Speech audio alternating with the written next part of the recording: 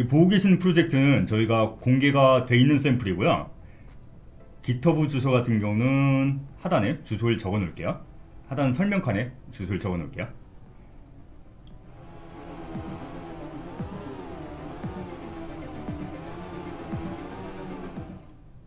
그래서 이 프로젝트 같은 경우는 Universal RP, 그러니까 줄여서 URP라고 부르는데 그 URP 기반으로 만들어져 있고요. 보시는 quality 거의 그대로 어, 모바일에서도 마찬가지로 똑같이 돌아갑니다. 그래서 GitHub로 가시면은 프로젝트를 다운로드 받으실 수 있고 그리고 제가 APK로 빌드해 놓은 것도 있거든요. 그럼 그 APK를 받아서 직접 폰에다가 돌려보실 수도 있어요. 그러면 어, 되게 괜찮아요. 어, 그래픽 괜찮아요. 이 품질 그대로 모바일에서 돌아간다면 꽤 괜찮은 quality거든요. 그리고 Edit, 어, Project Setting, 그리고 Graphics 보시면은 Universal RP로 설정이 되어 있고 보시면 뭐 quality별로 이렇게 asset들이 존재하고요.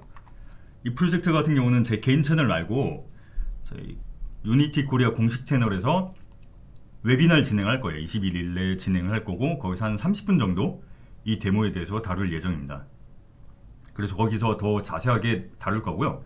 오늘은 좀 맛배기로 이번 영상에서는 맛배기로 한 몇 가지 보여드릴게요. 보시면 이 프로젝트가 그 유니버설 RP 그래픽뿐만이 아니고 어떻게 살펴볼 만한 내용들이 되게 많이 있어요. 그리고 특히 예를 들어서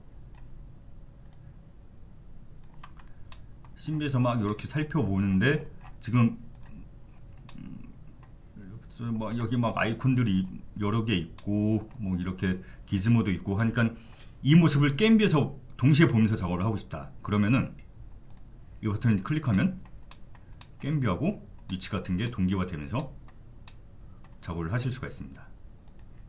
아니면은 음, 예를 들어서 이 굴에 들어가는 시점 음, 여기서 point of view 그러니까 이 지점을 지정해 놓는 거거든요. 이 지점 기억을 해놨다가 예를 들어서 좀 딴 데서 이 지점 이 지점도 기억을 해뒀다가 또 다른 지점 가서 작업을 하다가 아까 지점을 기억했는 대로 가고 싶어. 그럼 이렇게 딱 클릭하면? 클릭하면? 음, 이렇게 편집을 쉽게 도와줄 수 있는 tool들 어, 되게 괜찮은 것들이 많이 있어요. 그리고 보시면은 어, 이 하이러키의 아이콘도 추가를 할 수가 있습니다. 그러니까 유니티 기본 기능이라기보다는 이렇게 확장 tool로 만들어 놓은 게 있는데 Edit에서 Advanced Hierarchy View. 이걸 클릭을 하시면 여기 옆에 아이콘 보이시나요? 지금 이 object 같은 경우는 collider도 있고 스크립트가 있다 라는 걸 이렇게 아이콘을 표시를 해주고 있어요. 그리고 이 좌측에 보시면 static이라서 이렇게 S 표시가 돼 있고.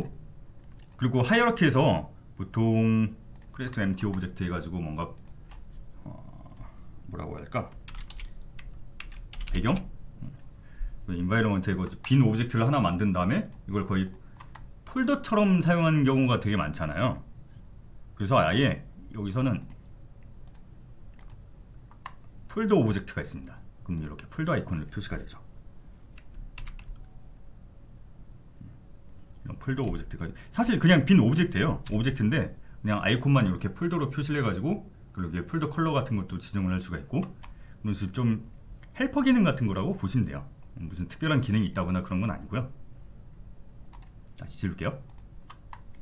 이런 식으로 개발 편하게 할 수 있는 그런 뭐 특수 기능들 어, 확장 기능들 그런 것들이 많이 있어가지고 그것도 한번 보실만 할 거예요.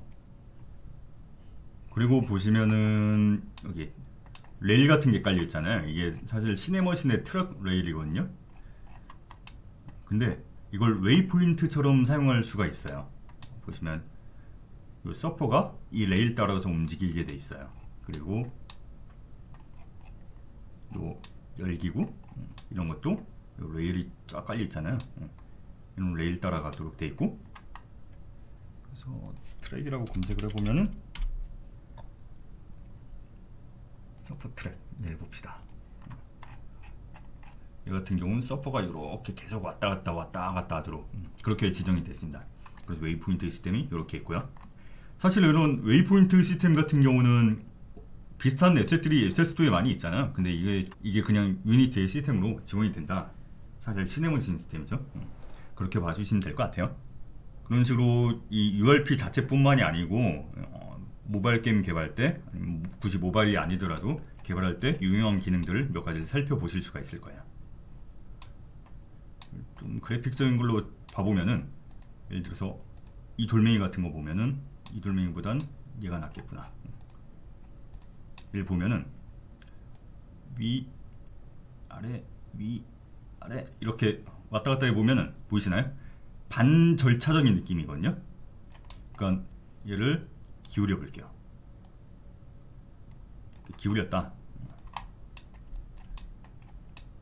그러면은 윗부분엔 풀이 칠해지고 이 아랫부분, 이 수면이 맞닿는 부분 쪽은 돌이 조금 검해서 뭔가 물기가 있는 그런 느낌이고 이런 식으로 반절차적인 걸 표현을 할 수가 있어요. 그리고 이거는 쉐이더 그래프로 작성이 된 내용입니다. Shader Graph를 한번 봐볼게요. 이런 식으로 풀 영역, 그런 영역, 그리고 젖은 부분 영역 이런 식으로 처리할 수가 있습니다. 그래서 그 부분은 그 면의 normal, normal이랑 이렇게 포지션에 따라서 그리고 예를 들어서 여기선 위치에서 green 값을 빼잖아요. 그러니까 R, G, B, X, Y, Z 그러니까 Y에 해당하는 G값을 빼가지고 그렇게 처리를 하는 거죠. 그러면 또, 또 다른 예를 하나 또 볼게요. 대표적인 게 대표적인 게 이렇게 나무 보면은 어, 나무 같은 경우는 scattering 재질 그러니까 subsurface scattering 줄여서 SSS 그렇게 얘기하는데 그러니까 이렇게 태양 태양이 어디니? 응. 태양 쪽을 보면은 그 표면한 산란 이런 걸 좀 구현을 해놨거든요. 물론 어, 모바일 타겟이다 보니까 좀 페이크로 처리해놨어요.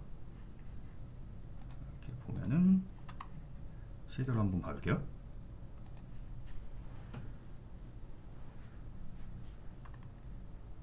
쫙 보면은 SS 텀은 여기고 음, 그래서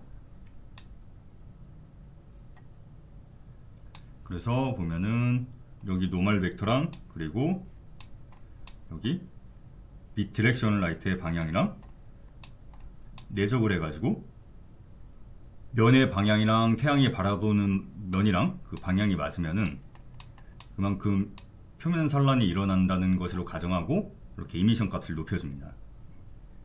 그래서 사실은 정확히 이런 SSS를 처리한다기보다는 좀 페이크로 가볍게 흉내내는 정도로 그렇게 구현을 해놨습니다. 그리고 또 이 프로젝트에서는 어, LOD 시스템을 적극적으로 사용을 하고 있는데요. 그중 하나가 어, 보이시나요? 이렇게 좀 넘어갈 때 넘어갈 때 바뀌는데 이렇게 dithering이 일어납니다. 이렇게 dithering이 일어납니다. 그러니까 LOD 할 때 보통은 이런 popping 현상이 좀 이슈잖아요. 그러니까 object가 갑자기 탁탁 바뀌면서 그게 티가 나는데 이런 식으로 dithering 과정을 거치면은 자연스럽게 이렇게 지금 이거 확대해서 보니까 티가 좀 나는 거지 작게서 보면 티가 잘 안 나거든요. 이런 디더링 같은 거는 이 LOD 자체, URP에서는 이 LOD 자체 옵션으로 제공을 해주고 있어요. 이런 식으로 이 프로젝트에서는 이 URP를 어떻게 적극적으로 활용해서 이 그래픽 quality를 뽑아낼 수 있는지 그런 것들을 보실 수 있는 프로젝트거든요. 그래서 아까 말씀드렸던 것처럼 저희가 Unity Korea 채널에서 이 Boat Attack이라든가 아니면 Lost Crypt라든가 HDRP 같은 경우는 자동차 asset을 가지고 뭐 데모를 할 거고요. 그런 식으로 몇 개의 프로젝트를 살펴보는 webinar를 진행을 할 거예요. 그래서 그거는 영상 링크는 설명칸에 달아놓도록 하겠습니다. 그럼 다음에 봐요. 안녕!